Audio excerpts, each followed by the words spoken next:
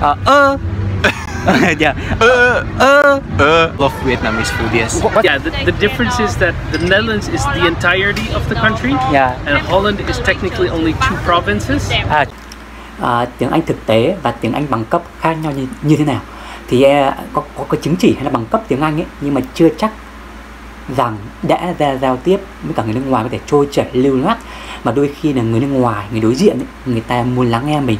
Vì đơn giản là khi anh chị có cái chứng chỉ bằng cấp thì là đơn giản là chúng ta học theo cái mẫu cái form mà đôi khi học thuộc. À, kiểu như là nghe đọc viết ở trong cái chứng chỉ đó. Tất nhiên là thi rất là khó. Nhưng mà chúng ta cơ bản là chúng ta chỉ học thuộc và học theo cái form cái mẫu.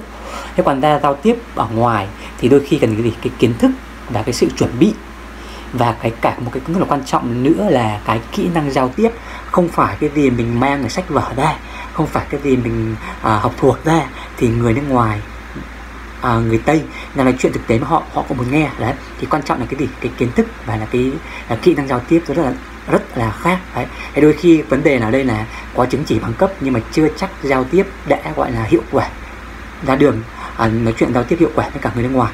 Và ngược lại giao tiếp à, lưu loát trôi chảy kỹ năng giao tiếp giỏi cũng chưa chắc đã có chứng chỉ bằng cấp. Đấy cái vấn đề như vậy. Thì vấn đề là đôi khi là có chứng chỉ và là cái giao tiếp thực tế thì nó không liên quan nhiều nhau.